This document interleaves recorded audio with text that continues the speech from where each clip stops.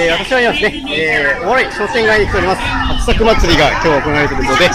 ちらはあ地震体験コーナーということで、あちらのモニターではですね、えー、震度5とか震度5弱という形で、えー、震度が体験できる